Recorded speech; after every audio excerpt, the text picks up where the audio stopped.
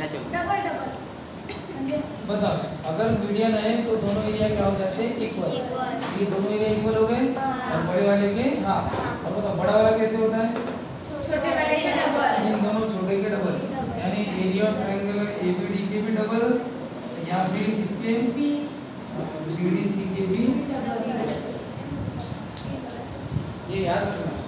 ये थी दो हमने प्रैक्टिस की। इसकी दो हिस्सियाँ। और अब है तीसरा वो क्या है सेंट्रोइड। क्या है? सेंट्रोइड। तो वो सेंट्रोइड होगा हाँ? तो सेंट्रोइड लास्ट है बेसिक खत्म। कल से फिर अपना चैप्टर शुरू। सेंट्रोइड, क्या होता है? देखो। Centroid is the point of intersection of all three medians in a triangle. हाँ देखो ये ट्रायंगल एबीसी है मिड पॉइंट लो मैंने इसका मिड पॉइंट बताओ मिड पॉइंट को कनेक्ट किया उधर तो मीडियन बन गई। बताओ एक, इसका भी मिड पॉइंट लेता हूँ क्यों? तो मिड पॉइंट को कनेक्ट किया अपोजिट वर्टेक्स से तो ये सेकंड मीडियन हो गई फिर। साइड कितनी रहती है? तीन मिड पॉइंट बनेंगे ना? तीसरी साइड का भी मिड पॉइंट मिलेगा।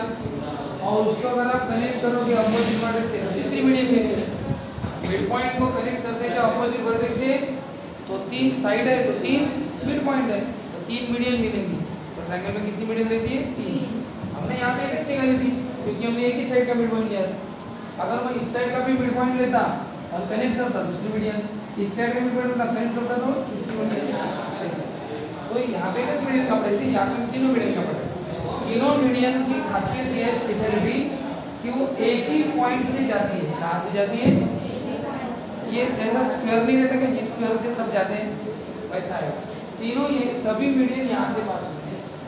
एक ही जगह उनकी मुलाकात होती है। तो ये जो इंटरसेक्शन पॉइंट है पॉइंट ऑफ़ इंटरसेक्ट इंटरसेक्ट कर रहे हैं ना? सभी तो ये जो इंटरसेक्शन पॉइंट है इसी को सेंट्रोइड हैं। क्या बोलते हैं? है centroid centroid is the point of intersection centroid ये एक पॉइंट है सिर्फ़। सेंट्रोइड क्या है? सिर्फ़ एक पॉइंट उस पॉइंट को सेंट्रोइड बोला। किसे सेंट्रोइड बोला है? पॉइंट को।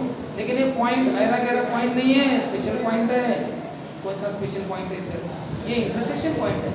किसका इंटरसेक्शन पॉइंट है? ऑल थ्री मीडियम तुम तीनों मीडियम निकालो, पहली मीडियम दूसरी, तीसरी मीडियम वो जहाँ पे मिलती है उस पॉइंट को बोलते हैं centroid centroid is the point of intersection किसका? ऑफ़ ऑल थ्री तीनों मीडियम इन्हें अब ये हो गया definition centroid divides the median in the ratio 2 is to 1 ये लास्ट वाला पॉइंट सेंट्रोइड मीडियम को क्या करती है? Divide in the ratio 2 is to 1 ये आपको समझने के लिए यहाँ पे लिखना पड़ेगा. ये मीडियम है. और बीच में क्या आ गया? सेंट्रोइड तो बताओ, अगर आप सिर्फ़ एपी को देखो मीडियन को देखो, देखा? और सेंट्रोइड बस इतना देखो। बताओ, इस सेंट्रोइड में मीडियन के दो टुकड़े किए ना? तो एक बड़ा और एक छोटा। तो ये डबल रहता है। ये वन तो ये टू यानी इसके डबल रहता है। यानी ये रेशियो कौन सा हो गया टू इज़ टू वन अब इसी को मैं अलग से फिगर निकाल के बोलूँ ये वही है ना? ए बी सी और मीडियम कौन सी है? पी और ये सेंट्रोइड है कि नहीं बताओ। सेंट्रोइड है। बोला तो ये जो रेशियो कौन सा है? टू इज़ टू वन तो ये सेंट्रोइड में मीडियम के दो टुकड़े किए ना एक बड़ा टुकड़ा और एक छोटा। एक छोटा और बड़ा पता कैसे रहता है एग्जैक्ट इससे डबल रहता है। जितना नीचे होगा उतना ही उधर डबल होगा। यानी अगर ये फोर सेंटीमीटर का तो ये कितना होगा? एट से। ये अगर थ्री सेंटीमीटर का तो ये सिक्स ऊपर वाला थोड़ा डबल रहता है। इसमें बोलते हैं कि वो टू इज़ टू वन यानी डबल है। ऐसे हम देखो। Centroid G centroid G divides अब centroid divides median AP median किस एपी को. हाँ इन द रेशियो कौन सी रेशियो में? टू इज़ देखो फिर से एक बार पढ़ो.